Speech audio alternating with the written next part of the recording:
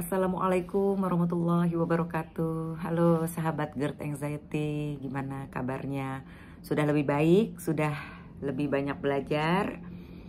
Aku jujur masih uh, penyakit, masih GERD Anxiety, masih GERD, uh, masih asam lambungnya masih ada dan anxiety-nya pun masih ada.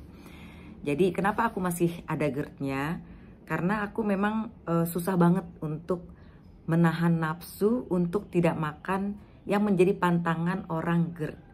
Eh, pantangan asam lambung. Contohnya santan itu kan uh, apa namanya enak banget ya lagi puasa-puasa gini.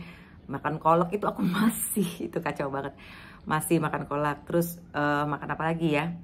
Itu aja sih kayaknya. Oh sama gorengan. Kolak sama gorengan. Itu santan sama minyak ya. Itu yang aku masih sulit banget untuk menghindar.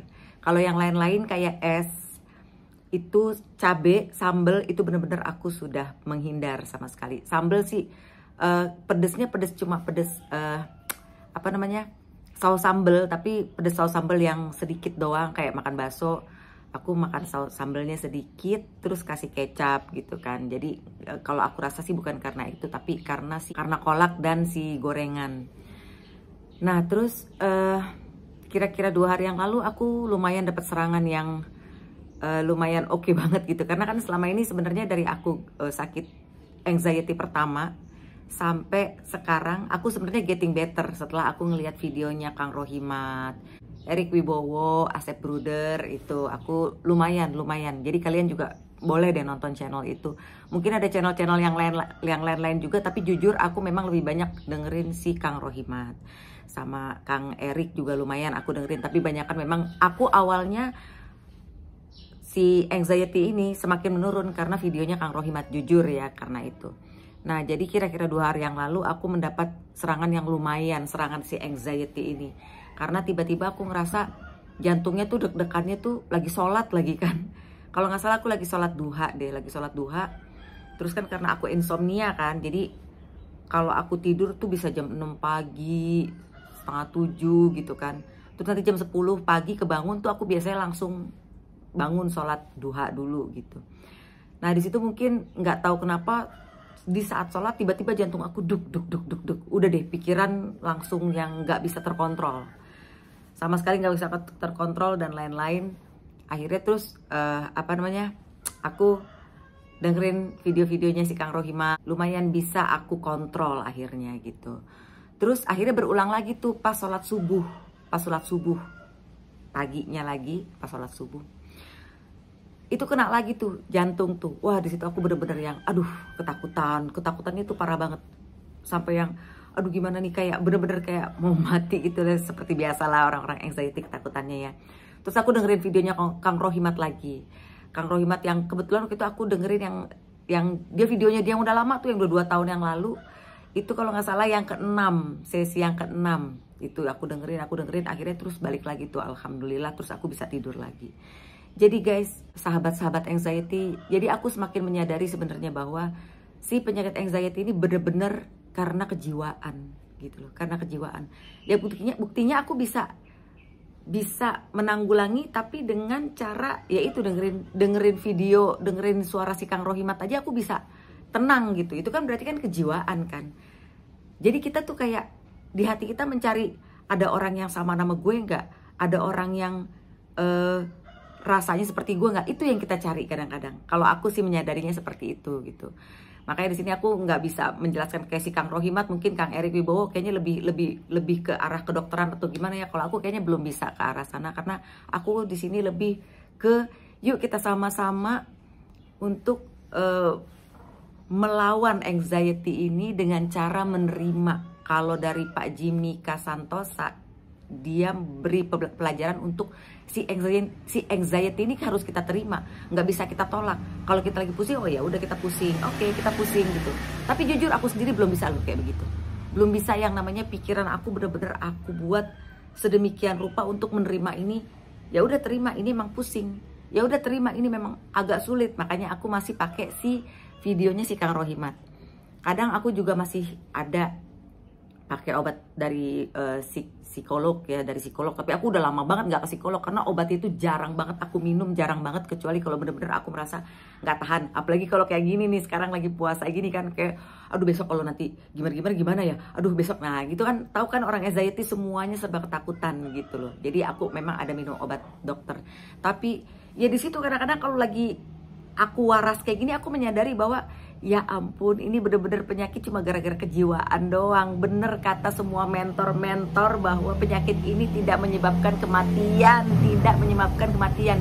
Tapi pas lagi sadar begini gitu loh. Jadi aku sih berharap temen-temen juga jauh lebih sadar daripada aku ya gitu loh. Aku merasa sih diri aku tuh kayaknya uh, lemah banget deh kalau dalam hal sadar menyadari. Tapi biar bagaimanapun aku senengnya karena sudah ada progres dari awal aku penyakit anxiety sampai sekarang udah tiga bulanan ada progres gitu dari hari ke hari. Daripada sebelumnya kan setiap setiap hari setiap hari tuh uh, kayak langsung sensasi bangun tidur sensasi sholat ketakutan sampai-sampai aku sholat tuh duduk. Sampai sekarang juga masih gitu sih. Kalau udah aduh pokoknya sensasi itu dateng udah deh langsung ketakutan deh gitu. Langsung ketakutan walaupun aku menyadari bahwa aku terima seperti uh, apa pelajaran dari Pak Jimmy Santosa itu harus diterima. Ya aku terima tapi nggak bisa belum bisa menerima secara radikal. Kayaknya hatiku tuh masih yang iya nggak ya iya nggak ya gitu loh. Nah aku kepengen kalian nggak kayak aku. Aku kepengennya kalian tuh lebih lebih kuat lebih hebat daripada aku. Itu loh yang aku kepengen gitu loh. Jadi lucu banget ya kalau orang bilang jadi aku ngasih motivasi ke orang padahal aku sendiri masih belum belum mampu gitu belum kuat tapi yang aku pengen kasih tahu ke kamu setidak mampu tidak mampunya aku aku masih hidup sampai sampai hari ini gitu. Alhamdulillah uh, yang ketakutan karena mat, akan mati dan segala macam ya memang itu semuanya dari Allah ya. Meninggal itu hanya kuasa Allah. Itu hanya Allah yang bisa mematikan kita dengan cara apa pun gitu loh. Tapi kalau yang aku lihat dan aku dengar dari pengalaman-pengalaman beberapa mentor bahwa bukan karena GERD ini, bukan karena GERD orang meninggal gitu loh.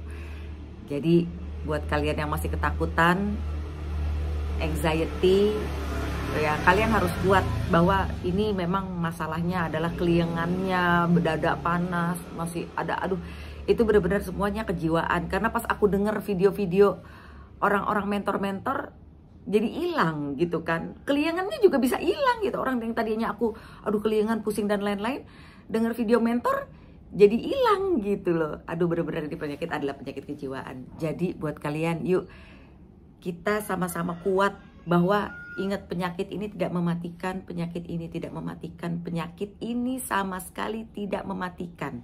Bahkan aku dengar dari mentor-mentor kayak Kang Erik Wibowo ya dia bilang aduh gue mau pingsan nih aduh gue pingsan. Tapi nggak pingsan-pingsan Kang Rohimat juga, aduh mau pergi waktu dia pertama kali mau ke tempat mentornya dia yang dia waktu sakit, terus tiba-tiba dia katanya pasang status, terus ada mentor GERD yang lihat statusnya dia, terus disuruh datang kan ke rumah mentornya itu.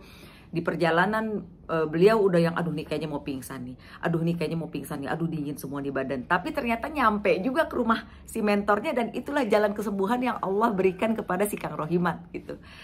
Jadi kalian uh, nonton deh video-videonya itu akan membuat kalian lebih kuat. Seperti aku juga lebih kuat walaupun aku belum belum bisa menerima secara radikal karena memang asam lambungnya itu masih aku masih tinggi banget. Karena itu belum bisa belum bisa uh, apa namanya nafsu itu belum bisa aku tahan gitu loh. Tapi aku satu lagi nih kalian kalau bisa kalau lagi uh, kalau sakit GERD jangan makan kenyang deh. Sering tapi jangan kenyang. Aku ngerasain banget. Jadi kalau aku makan kenyang itu langsung keliengan gitu. Kalau aku makannya nggak terlalu kenyang ya nggak keliengan. Tapi memang masalahnya adalah jadi sering lapar. Tapi nggak ada masalah sih ya yang penting kan nggak keliengan gitu.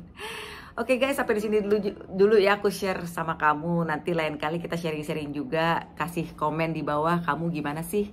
Apa sih yang kamu rasain selama ini selama kalian GERD dan uh, mohon kalau mau uh, komen yang membuat uh, supaya kalau orang-orang lain melihat komen kamu jadi uh, terpicu untuk sembuh, terpicu untuk uh, menjadi kuat gitu ya.